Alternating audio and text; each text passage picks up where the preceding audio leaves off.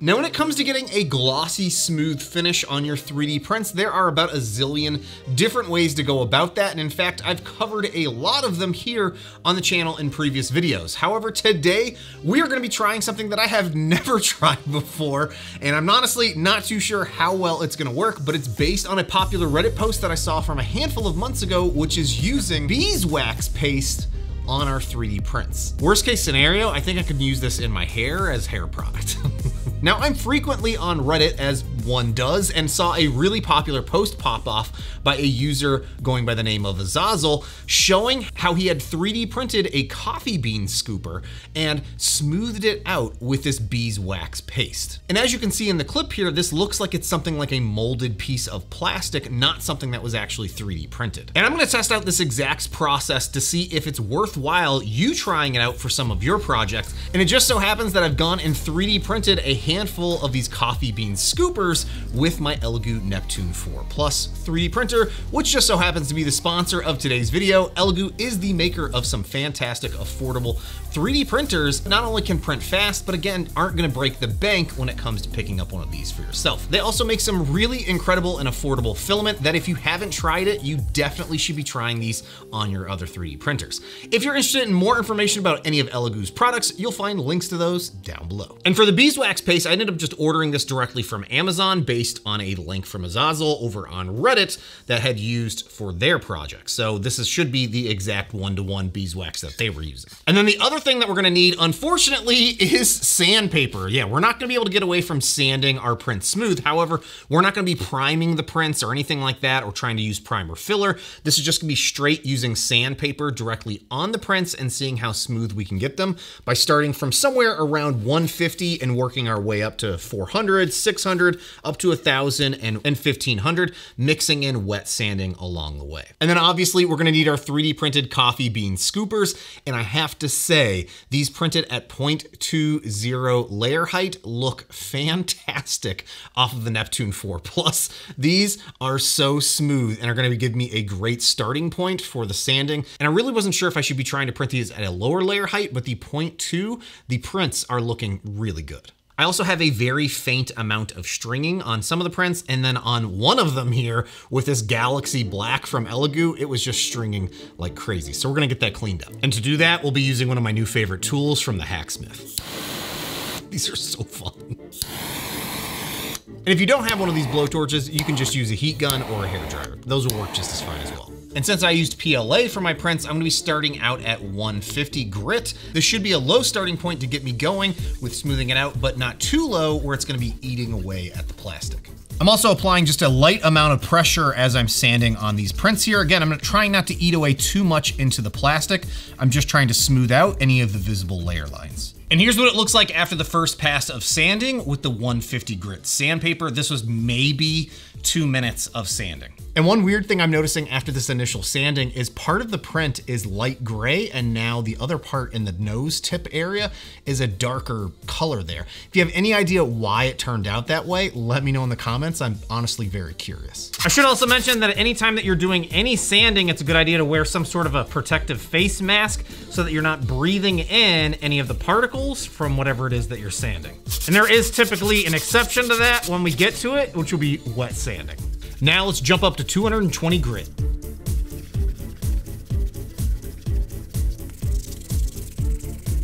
And next up is 400 grit. At this point, if you really wanted to, you could start the wet sanding process. I typically don't start that unless I'm at 600 or 800.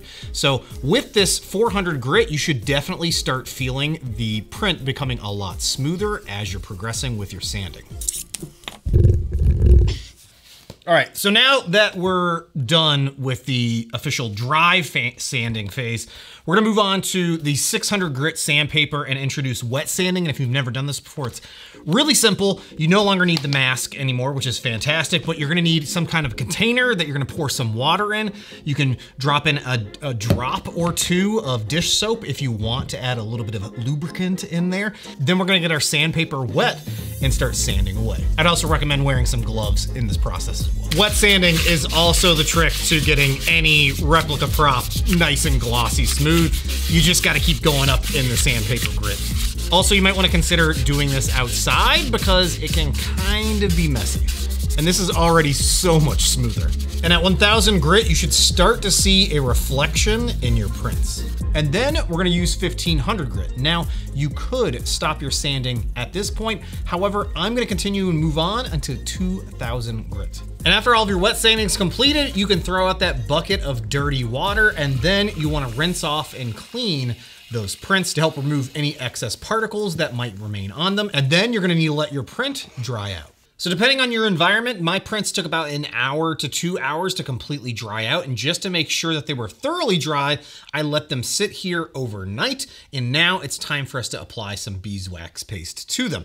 However, before you go off and do that, you should double check to make sure that everything feels really nice and smooth. If there are any rough spots on your prints, this is the time you wanna go back through and re-wet sand those areas down. Now I have four of these bowls that have been thoroughly sanded down. However, I also want to test out applying some of this wax paste to a raw PLA print. So there's no sanding that's been done to this whatsoever. So I figure I'd go through the entire process of wiping these all down and applying a little bit of that beeswax paste to them. And no, you don't need to heat this up and melt it, although that does sound kind of cool to see if you could pour it over these prints. All right, I'm just gonna take a cloth and I'm gonna rub it into the surface of the beeswax paste here to get some on the surface of the cloth. And let's start wiping it on. I'm just trying to apply a thin coating onto the surface here of our print and then just rubbing it in. And then we're gonna let this sit here to fully dry out before we apply another coating of it. And depending on how much wax paste you put on your prints, it's gonna determine how long it's gonna take for that to dry. I let mine sit here for about 20 to 25 minutes and they are pretty much dry to touch. So I'm gonna take a, cl a clean towel and I'm just gonna buff them here as following the directions that I saw on the can. And then we're gonna apply a second coating to all of these bowls. At this point, you can continue to add as many coats as you'd like to the object. And in this case, I've applied two coats to these little cups. And let's take a look at the results of our beeswax paste test with our 3D prints. And first up is the black PLA print, and this is so glossy and smooth. I'm honestly kind of amazed at how soft and smooth we were able to get this just by doing wet sanding and then applying this beeswax paste to it. I can even see my reflection directly in the print. Now, I can still see scratch marks in this and from the sanding process and even some layer lines from the print, but it is so incredibly smooth to touch. And something like an auto body compound would probably have done a better job of getting out those fine scratches in the surface of the print. And again, you see that weird little uh, line separation between the front and the back half of the print. This white one looks stunning. Like it feels stunning, it looks stunning, and obviously the white is gonna be a lot harder to see the layer lines that it's a 3D print. And if someone just handed this to me, I don't even think I would have considered it being a 3D printed object. It is so smooth to the touch and it just really seamlessly hides any of those seams thanks to all this process here. And this is the Midnight Black filament from Elegoo that has a bit of glitter mixed in with it. And I thought it was gonna pop a good bit more with this wax paste. And unfortunately, it just did not. And again, went all the way up to 2000 grit, wet sanding this. Uh, it's still ridiculously smooth for just starting with a raw print, working its way up, and then putting this wax coating over it. The color looks great. I just thought it was gonna pop a little bit more. Now this is Witchcraft PLA from CookieCAD. This is probably one of my absolute favorite filament colors that is out there. It's such a vibrant purple glittery filament. And this one I definitely think pops a good bit more than the others. However, you can still see some of those fine scratch marks in the surface of the print. Now, just for comparison, I did take a raw 3D print of one of these cups and ended up applying four coats of beeswax paste to it. It is definitely a lot smoother than just the standard raw filament print. It is nowhere near as smooth as the one that I went through and did all of that fine sanding work on. This one, I think maybe with like I don't know, eight coats of the beeswax paste, maybe it'll be even smoother. It's kind of hard to tell. It definitely seeps in more to the seams of your print as you're continuing to apply coats to it. It's honestly pretty smooth, not as smooth as this one, but the results for just a quick wipe down with this paste is kind of impressive. Now, there was no way that I was gonna attempt this project without doing some sort of cosplay test for this, so I 3D printed this Doctor Doom mask on the Neptune 4 Plus, and I ended up taking that same mask and printing it twice so that I can do the comparison of the raw printed version versus one that I have completely sand smoothed down to 2000 grit and then applied two coats of the wax paste to. And obviously this one is significantly smoother and glossier than the raw print. However, you can definitely still see those layers through this. Now you can't actually feel them. It's so smooth to touch, it's one of these little experiments that I wasn't really sure how the results would work with this. I wasn't sure if it was gonna really help even out the color of the filament or if we're gonna see the gradual stepping of the 3D print directly in this file. So it is still really smooth and it has a really cool effect that might be worthwhile for a project that you're attempting to do. But I don't think I would recommend this over the traditional method of finishing your 3D prints, especially if you're gonna end up painting them.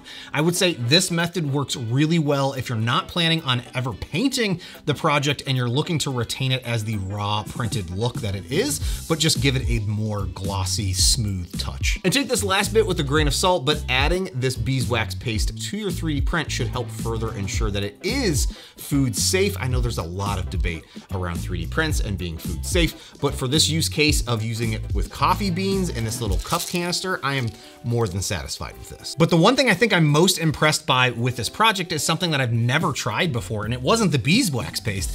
It's just taking a raw 3D print and sanding it all the way through up to, you know, 1,500 grit or 2,000 grit sandpaper and seeing how smooth you can get this without using any primer filler. I was kind of shocked that this worked as well as it did. I wasn't really anticipating that to work because every project that I've ever done, I've gone up to about 220 grit and then would apply primer filler and then continue the sanding process and repeat and repeat until I've got a really smooth surface. Now, I did also want to say thank you to all my Patreon supporters for your continued support of me making content here on the interwebs. If you're interested in things like 3D printer settings that I used for these 3D prints on my Neptune 4 Plus, you can find those over in my Patreon. And let me know in the comments if you have any other suggestions on what I could potentially use this beeswax paste for, for other projects, or if there's other scenarios that you think I should go ahead and test out with this. It definitely has a lot of potential. I'm just not entirely sure it's better than anything that we've already been doing previously. Hey, thanks again for watching you all, and I'll see you next time. Now I'm done editing the video and just about ready to post it. However, I can't get the idea out of my head about trying to melt down some of the beeswax and pouring it over a 3D print and seeing how well this works. And I'm assuming it's not a really good idea at all. However, that's the entire point of this channel is for me to do all these things so that you don't have to. Not only did I do a horrible job of pouring it out, but it also, as expected, cured really thick on top of the.